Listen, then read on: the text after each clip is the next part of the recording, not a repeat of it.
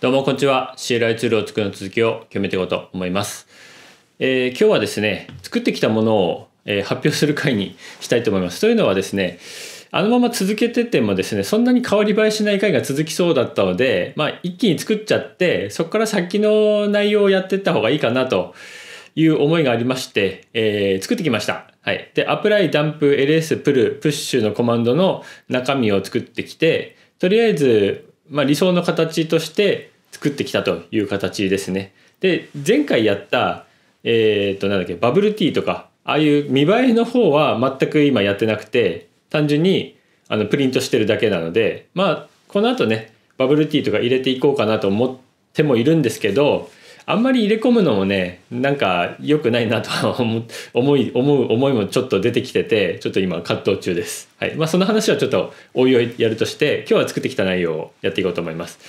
で直した内容はこの5つのコマンドとあとファイルにちょっとした関数を追加した程度なので上から見ていこうかなと思いますが、まあ、何ができるようになったのかというのを先に見ていった方がいいかな。はい。えーっと、ゴーランドットで、まず ls コマンドを直してきました。で、ls コマンドを実行すると、はい、ローカルバージョンズというので、ローカルのバージョンだけ出るような形にしていて、まこれリモートバージョンもあって、-a っていうフラグを設定すると、リモートバージョンも出るというような形で2段構成にしました。で、これはローカルだけで完結させたい思いがあったので、えー ls と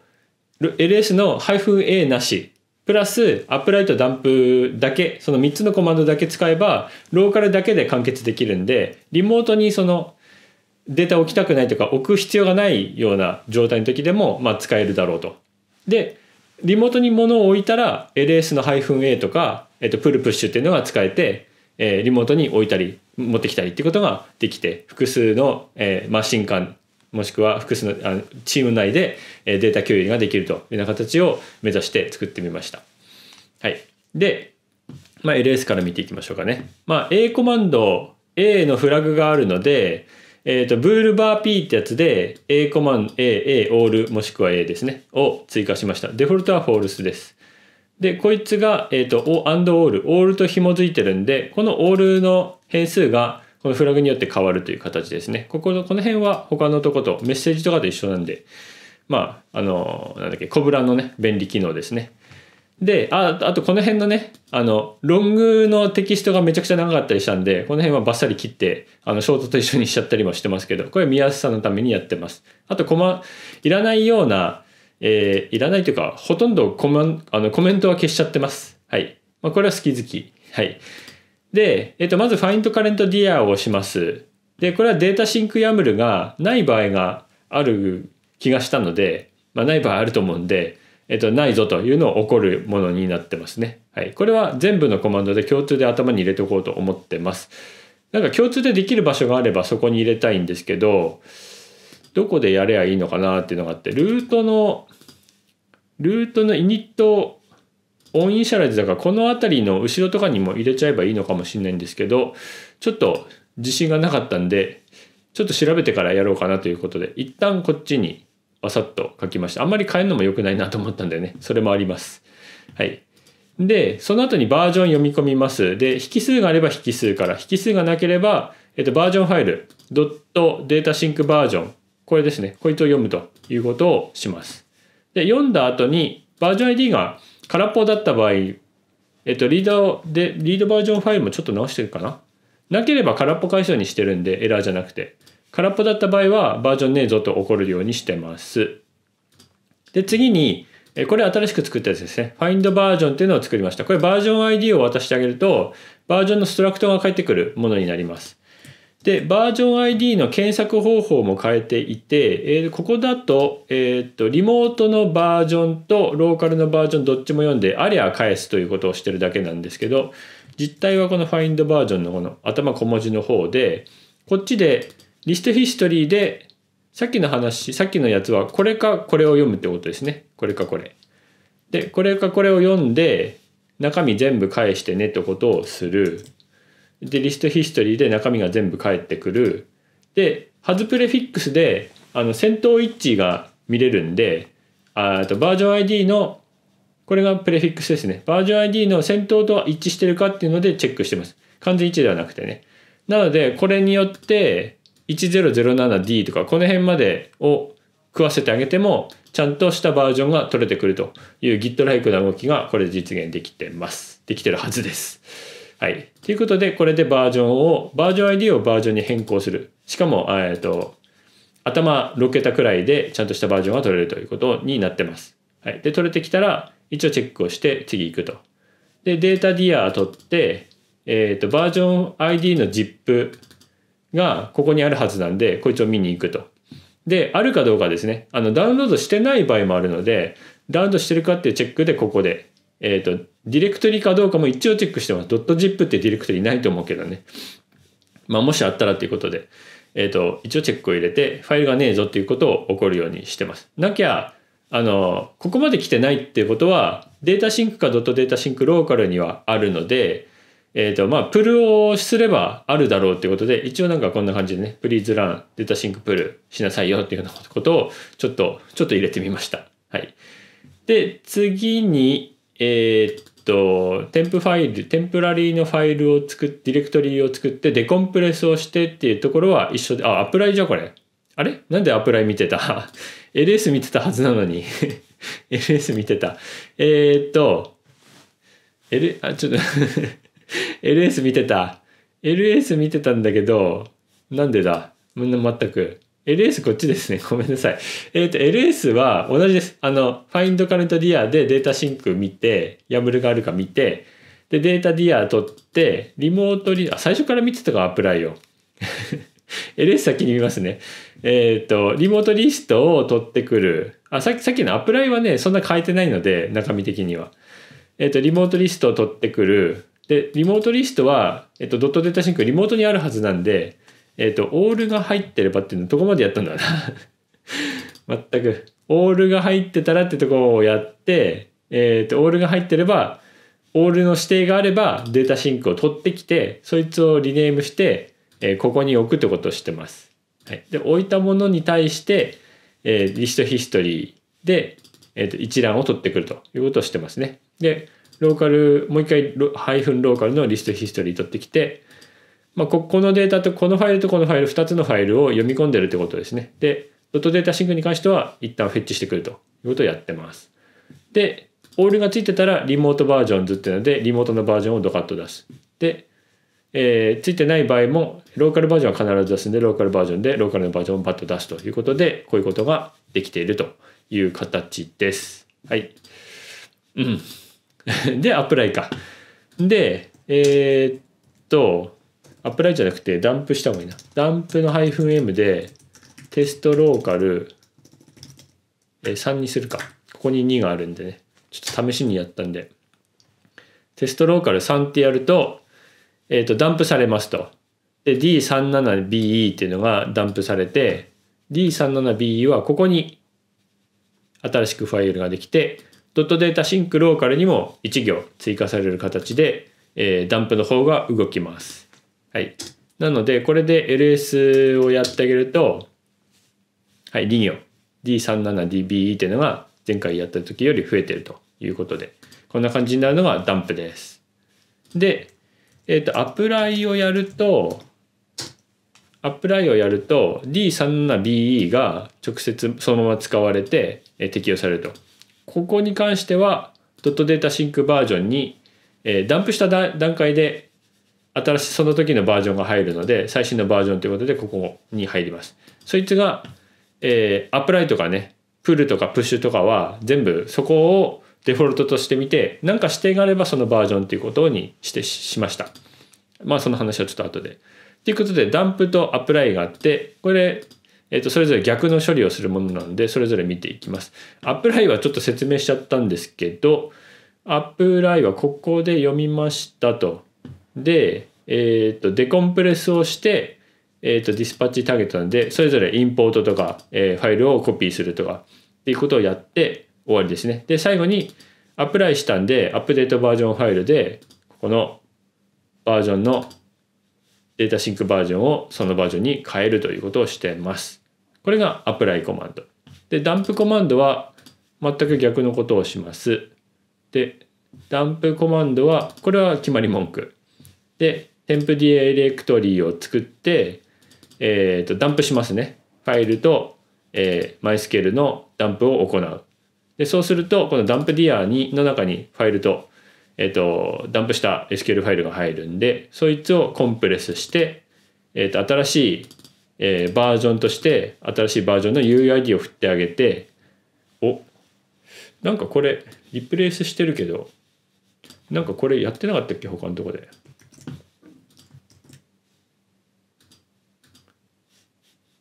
ファイル Go でリードバージョンファイルか。リードバージョンファイル。リードバージョンファイルをしてる。これ何するやつ？あ、リプレイスしてんのか。ん？なんでリプレイスする必要なんだこれ？リードファイル。あ、NN 切ってんのか。あ、じゃあこれはいるんだ。これは、あの、UUID の V4 を使ってるはずなので、えっ、ー、と、ハイフンが入っちゃうんで、それを消す処理ですね。ここでしか使わないから、ここに置いてあるんだな。で、バージョン ID 新しいのを作って、その ZIP ファイルを作り、新しいバージョンのストラクトを作り、そのバージョンを、えー、ハイフンローカルの方に突っ込む。で、アップデートバージョンファイルをするということで、ダンプをした時も、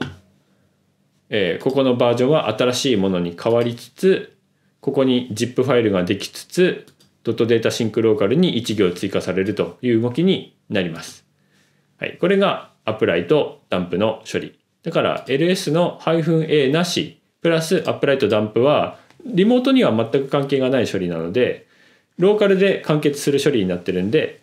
あのリモートに何か環境を作ってない、もしくは、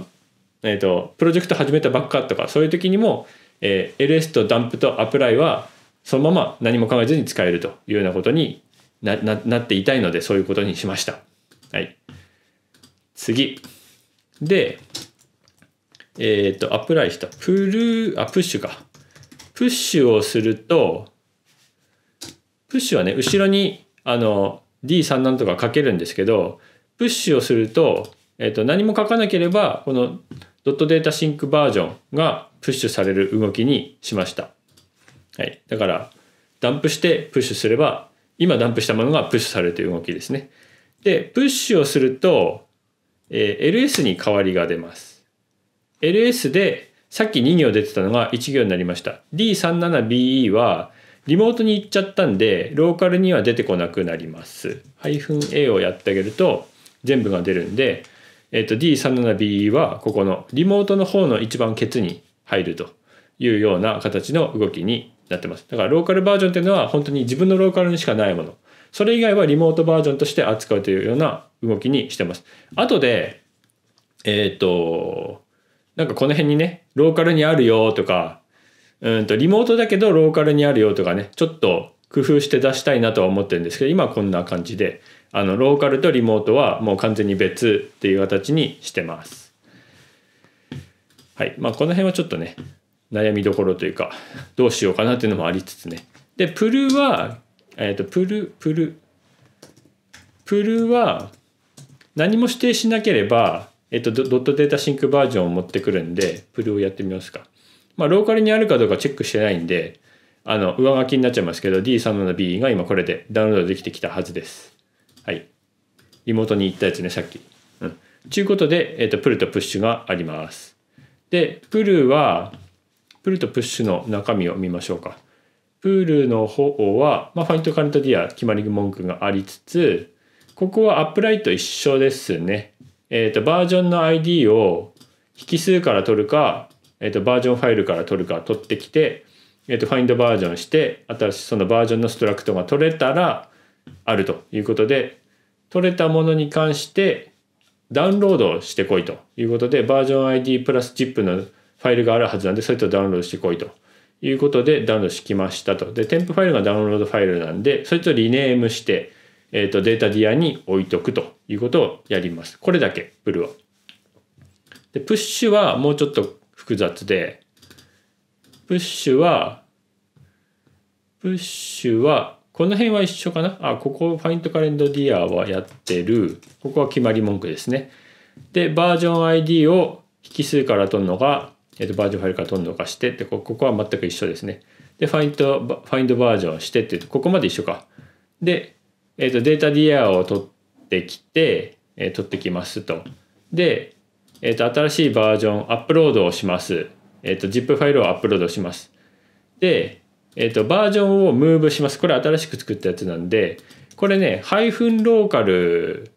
にあるこの1行ですね、指定の1行をドット data sync の、えー、こっちに持ってくるという処理ですね。ちょっと、ちょっとだけ複雑なことをしてる。あ、複雑ではないけど、あの、並び替えとかしてるんで、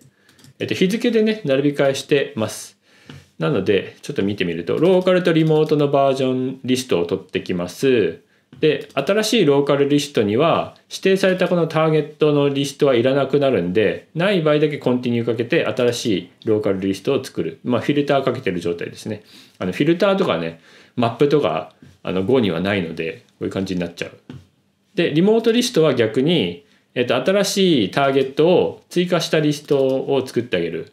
で作ったものに対して、えっと、ソートスライスってやつでソートがこいつに対して直接かかるんでこれで時間で並び替えてるというような感じですね。で、ライトファイルで一気に上書きするということで、どんどんと上書きしてるという状態です。なんかここでね、ライトファイルしちゃうんで、なんかアペンドをするっていうのもね、あんまりなんかししなくなってきちゃったので、ちょっとバージョンファイルの中身をね、JSONL じゃなくてもいいかなって気にもちょっとなってます。なんで、なんかこれ2行空いてんな。めちゃくちゃ空いてんな。これちょっとおかしいな。はい。まあ、そんな感じで、えー、こういうものを作っていまし作ってみました。これで、えっと、ドット data sync バージョン、ドット data sync の中身が、に、えっと、ローカルの中身の指定されたものがキュッと入るというような形ですね。で、それをドット data sync をアップロードすることで、新しくアップロードしたこのバージョンは、新しいこのアップロードしたもののデータも同時にアップロードされるとでここの前に本当はドット data sync をダウンロードしてきた方がいいので後でやろうということでこういうこと書いてます。はい、ざっくりはこんな感じ。なのでうんと新しくねプロジェクトを始める人がいたとしてもともとプロジェクトがあってね新しく入ってきた人がいてじゃあやろうって時に、えー、ドットデータシンあ data sync があれば、えーと、 data sync バージョンもあるし data sync YAML もあるんでえーと、GCS の設定がされてるっていうことであれば data sync の pull をすれば、えー、勝手に指定のバージョンこのブランチのバージョンこれって決まってるはずなんでこのバージョンがダウンロードされてきてでアプライすればちゃんとデータが入ってそのまま開発に行けるということですごい便利。でローカルで開発してる人に関してはうんと、えー、ダンプをするとあるある時にダンプをするとでそれでまあなんかやると。なんかやる。なんかやると。で間違えたとかね戻したい時は、えーと、アプライしてあげれば元に戻る。でこの状態でいいって時はそれをまたプッシュすればあのみんなに行くようになるんでプッシュすると。いうことで、えー、まあ、そんな感じでね。だから自分のローカルだけでちょっと試したい時は一旦今の状態をダンプしといて。でなんかやって。うまくいったらもう一回ダンプして。またやって、まあ、うまくいったらまたダンプして上げたいやつだけプッシュするみたいなねそんな感じで使えるようになるかなと思ってます。はいということでざっくり使っ書いた内容の話でした。他に直してるところは基本はないはずなんですけどえー、っとね一部あこういうの作ったかバージョン2ストリングとかは作ったんでえー、っとこういうやつこれだな、バージョンファイル、ライトファイル、あいいのか。うんと、バージョンをストリングに変える、文字列化する関数だったりは作ったりしてますね。ちょ、ちょ、ちょこっと直してる。ここに書いてあった内容がこっちに来てるだけなんで大したことないんですけど、こういうのを作ったりはしてますが、基本はそんなに変えてないはずです。あとは、どの辺かな書いたの。バージョンリストトゥーストリングも作ったか。これはさっきのバージョントゥーストリングのリスト版ですね。同じ。あ、バージョントゥーストリングで、これで LINE で、ここに NN が入ってるから、この NN いらないんだな。これがあるから変になってたんだ。うん。まあ、こんな感じですね。はい。ちょっとアペンドとかいらなくなってきちゃってる風がするのでちょっとどうしようかっていうのを考えつつですけど、まあ、ざっくりね動くような形で作ってきたのでこいつをねバージョンの0.1.0とかでねあのリリースしたいと思います。以降なんですけども、まあ、気になりポイントを直したりあとはウィザードですねイニットを作ってあげないと使いようがないと思うのでこれをねさらでかけて言われてもね困るのでえーと、イニットコマンドをね作るっていうのをやっていこうかなと思いつつあとはまあリファクタリングというかテストも書きたいのでテスト環境を整えてテストができる形にちょっとずつ直していって今さらでテスト書こうと思うと書けないものって結構あると思うんでねその辺の修正とかをしていく予定です。ということで今回は以上次回お楽しみにチャンネル登録高評価お願いします。では